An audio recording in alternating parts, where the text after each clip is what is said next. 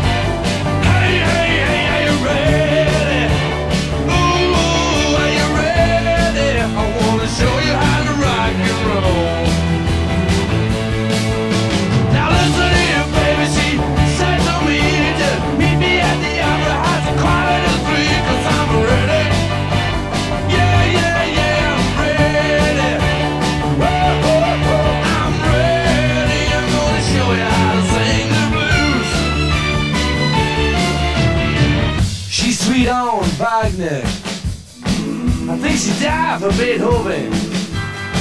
She loved the way Puccini lit